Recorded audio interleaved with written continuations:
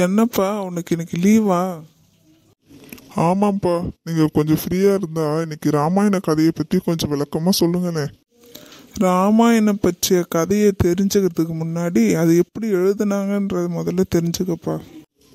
சரிப்பா கொஞ்சம் சொல்லுங்களேன். வால்மீகி ஆசிரமத்திற்கு ஒரு நாள் நாரதர் வந்தார். அவருக்கு உபச்சாரங்கள் செய்து வரவேற்ற பிறகு வால்மீகி முனிவர் அவரை நோக்கி நாரதரே இந்த யுகத்தில் முப்பத்தி ரெண்டு கல்யாண குணங்களும் பொருந்திய நேர்மையான சத்தியம் தவறாத வீர தீர பராக்கிரசாலியான புருஷன் யாராவது இருக்கிறானா? என்று கேட்டார்.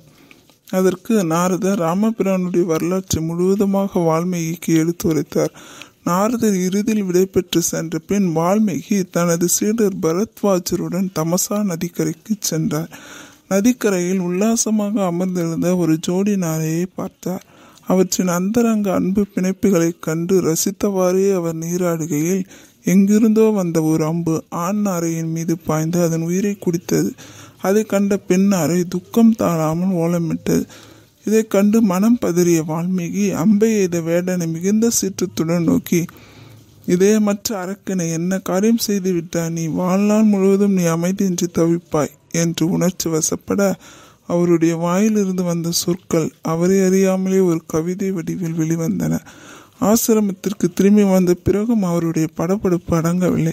சற்று நேரத்தில் பிரம்மா வால்மீகியை காண வந்தார். பிரம்மாவை விழுந்து வணங்கிய வால்மீகி நின்றபோது பிரம்மா கூறினார் வால்மீகி என்னுடைய அருளினால் உனக்கு கவிதை படம் திறமை உண்டாகிவிட்டது. ராமபிரானது வரலாற்றை இதற்கு முன் நீ கேட்டிருக்கிறாய். அதை நீ காவியமாக ஏற்று இந்த உலகம் இருக்கும் வரை அவை காவியமாக நிலைத்திருக்கும் என்று வாழ்த்துவிட்டு சென்றார். பிரம்மாவின் அருளால் வால்மீகி ராமாயணத்தை ஏற்றினார் சரிப்பா இப்போ போய் நீங்கள் தூங்குங்க. மற்ற கதையை நான் அப்புறமா கேட்டுக்கிறேன்ப்பா.